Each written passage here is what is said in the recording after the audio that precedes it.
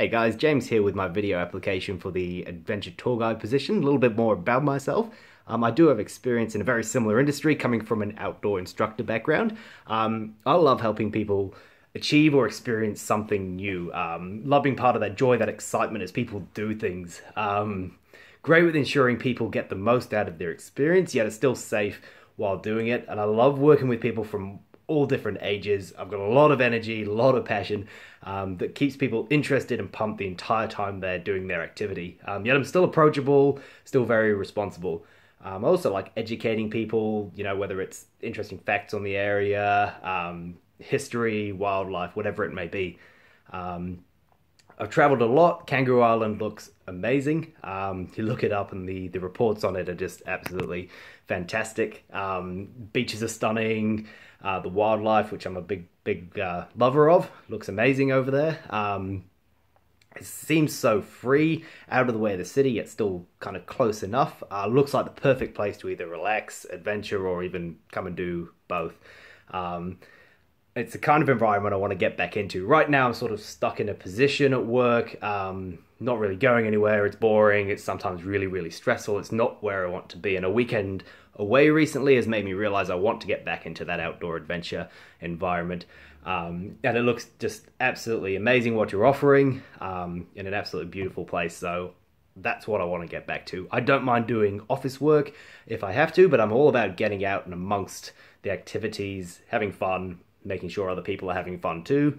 Um, I bring a truckload of energy, passion. Um, more than happy to get involved with any activity.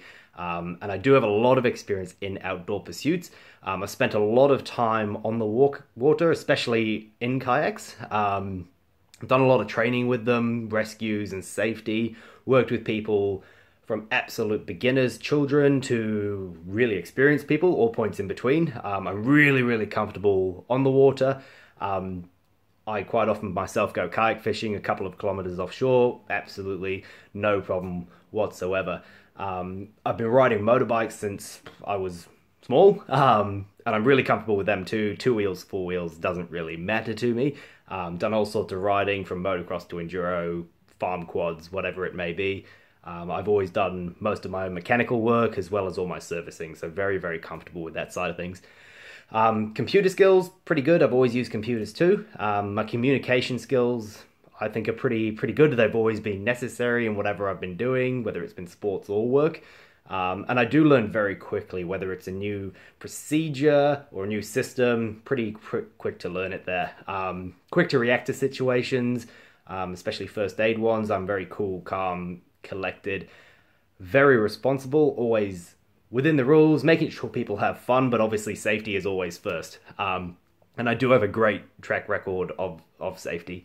Um, I've worked with people from all over the world. I've worked in Australia, I've worked in New Zealand and the USA. Myself, I'm actually from the UK originally. I have New Zealand citizenship.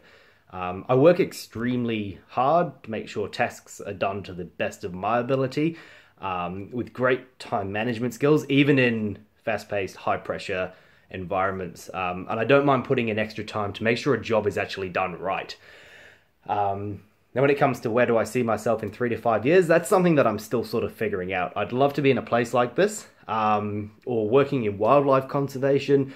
Um, I've even looked at going into either policing or going back to university and doing either occupational therapy or physio just to give back and make a difference.